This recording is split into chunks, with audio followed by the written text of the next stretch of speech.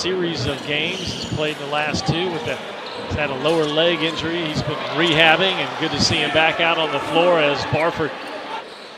Barber, full head of steam, will kick it to Barford. He'll step back, jump shot away, and good. Jaylen Barford, the leading scorer for the Swarm at both fair for that rebound, and now Barford.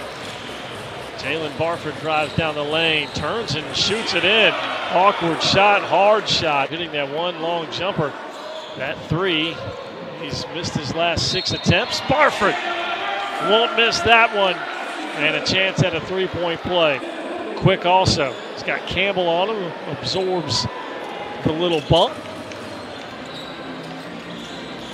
Barford so quick, steps back, switches home another one. 71-63, the lead back to eight. Barford, can he do one? He sure can. Barford rifles it out to Bacon, and his three is good. Maybe that'll get Dwayne Bacon going a little bit. Nice little two-man action between Wilkins and Nelson. And a steal by Barford. Barford ahead of the pack. And the swarm.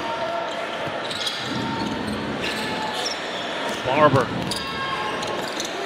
Or Barford. Now with three on the clock, he'll fire it. Rebound down to Chile. And Barford